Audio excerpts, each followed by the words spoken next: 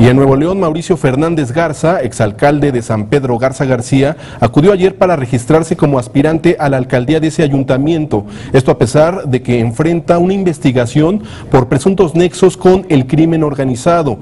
El exmunícipe panista arribó a las instalaciones del Comité Estatal del PAN, acompañado por integrantes de su planilla.